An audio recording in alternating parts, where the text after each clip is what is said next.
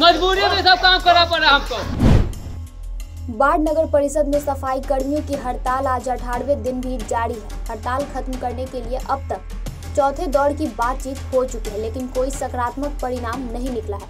अपनी अंतरिम वेतन और वेतन बढ़ाने की मांग पर अड़े सफ़ाई कर्मियों ने कार्यालय के मुख्य द्वार पर मरे हुए जानवर रखकर हंगामा किया, जिसकी वजह से कार्यालय के अन्य कर्मचारी वहाँ से भाग निकले। अपनी मांग पर अड़े हड़ताली सफ़ाई कर्मियों का दिल जब इतना से भी नहीं भरा तो उन्होंने नगर परिषद कार्यालय के सामने मुख्य पार्षद के पुतले को जूते चप्पल पहनाकर दहन किया। साथ ही प्रदर्शनकारियों ने जमकर नारेबाजी भी की।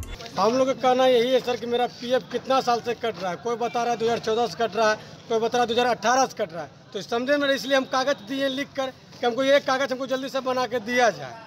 तो नहीं मिला अभी तक, आज अठारह उन्नीस दिन हो गया, कागज़ दिए हुए, कोई नहीं सुन रहा। इस डी कन गया है डीएम कन गया है नगर पालिका में गया है, चेयरमैन को, स्कूटी को, कोई नहीं सुना।